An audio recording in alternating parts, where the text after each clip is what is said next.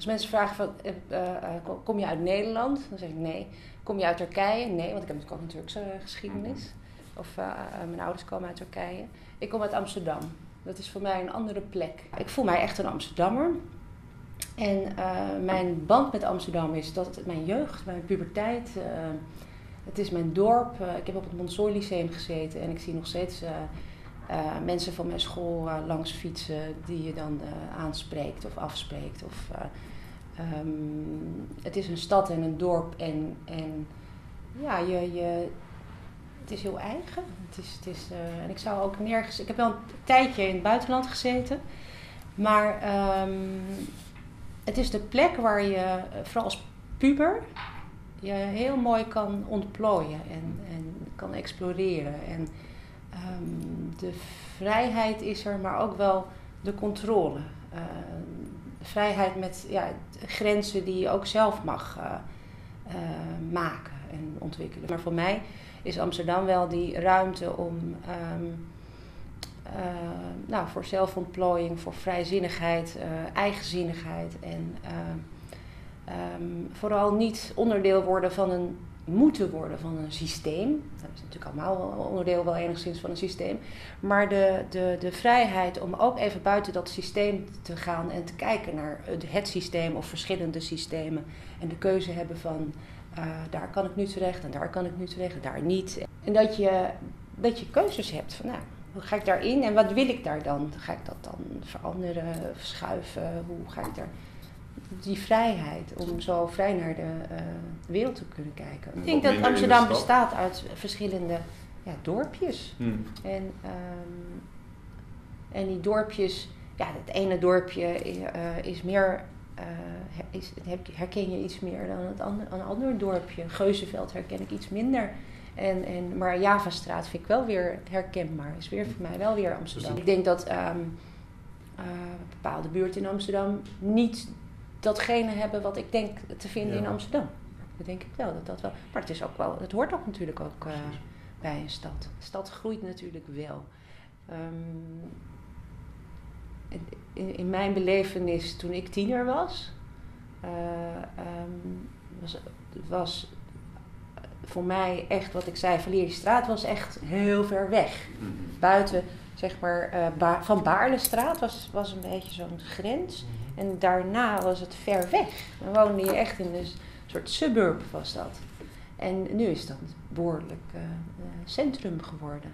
Maar ik merk het ook nu, uh, omdat ik vaak naar West fiets, zie ik ook dat dat wordt ook weer betrokken. Dus ook buiten de ring komt het weer, de grote ring, komt het ook weer naar de stad toe. Dus het groeit wel enorm.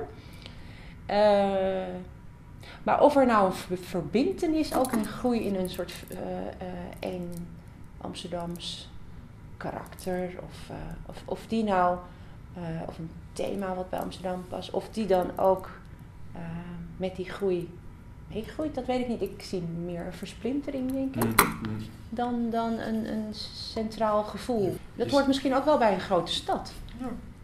Ja. En, en ik denk dat voor, voorheen, zo'n twintig jaar geleden, dat, dat, dat de kern van Amsterdam echt Amsterdam was.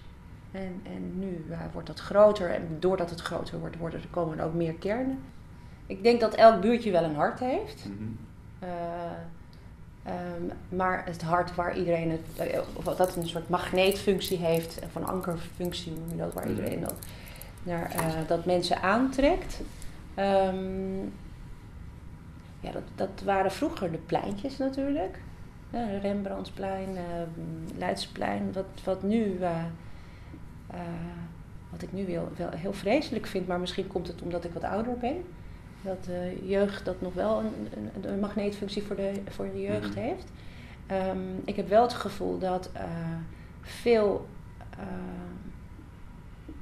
dat, dat, dat, dat Pijp wel echt een beetje een plek is geworden waar veel Amsterdammers naartoe gaan.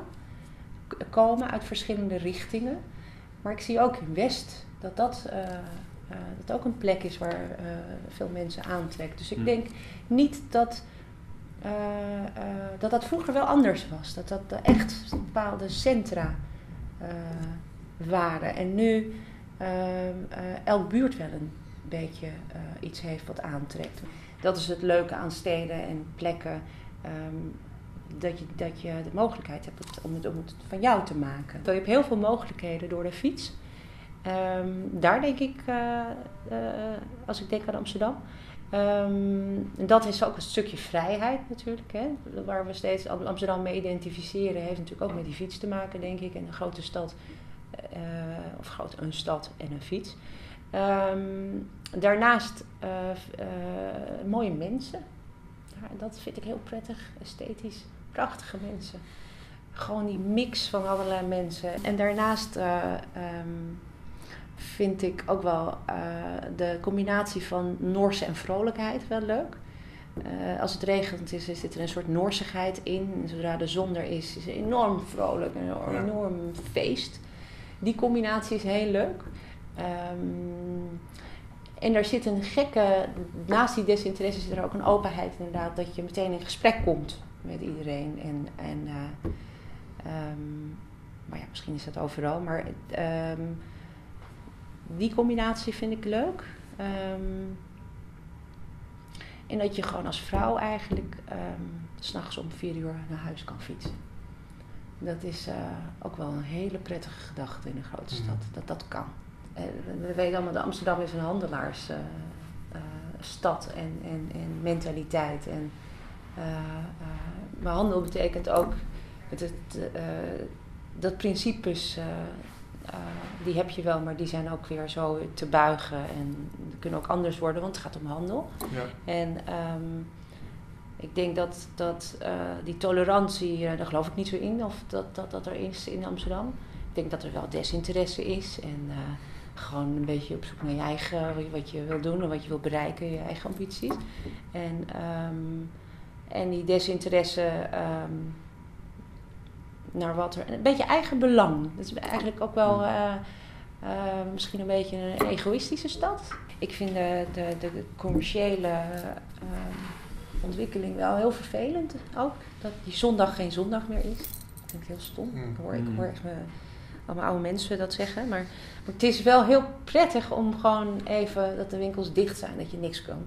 Dat je, ehm, dus die vercommercialisering, dat vind ik wel eh, en de drukte van, van eh, heel veel eh, ja, plekken waar veel toeristen komen. Dat hoort natuurlijk, van, het, het hoort bij deze tijd. Maar dat is wel ook iets wat ik vervelend vind. En eh, ehm, de, de, de, de, de soort, ehm, ja, eh, hoe noem je dat? Shopmania. Eh, de, de veelheid aan kopen, veel en eh, de gulzigheid. Dat is eigenlijk wat mij eh, stoort aan de stad. Daar krijg ik een beetje allergische reacties op. En ehm, maar daarbij realiseer ik me ook dat dat gewoon deze tijd is. Dat dat blijkbaar eh, past hier nu. In Noord en zo gebeurt er ook wel van alles. Maar daar zit wel een behoorlijk commercieel tintje steeds aan. En dat was volgens mij in de jaren tachtig eh, een ander verhaal. Hm. Eh, de commerciële kant van die ideeën was minder relevant. Het ging echt om de ontwikkeling van je eigen, of je groepsgeest, of je met je, ja, het was iets minder commercieel. En dat, dat is wel iets wat vind ik wel jammer. Dan heb je bijvoorbeeld, ja, nu heb je allerlei leuke festivals wel misschien, maar daar zit altijd een commercieel dingetje aan. En eh, dat maakt het ook wel weer. Ik denk dat je daardoor minder eh, eh, goed kunt, vrij kunt creëren. Ik zie wel dat ze. dat daar een soort reactie op is. Maar wat daar nou uit gaat komen. Die creatieve broedplekken. Of die weer gaan terugkomen. Ik denk het niet. Dat het op een andere manier wel weer een, een draai gaat vinden.